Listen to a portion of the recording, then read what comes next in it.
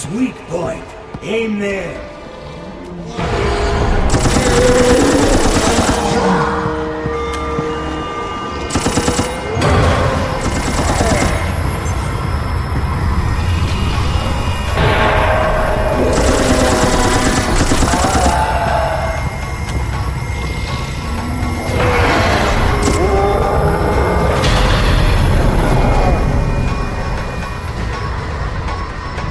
we can get away from it.